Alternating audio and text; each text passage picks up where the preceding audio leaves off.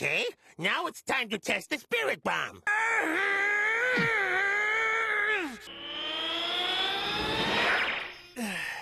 Excellent. Now, form it into a ball. Okay, whenever you're ready, King Kai. Let-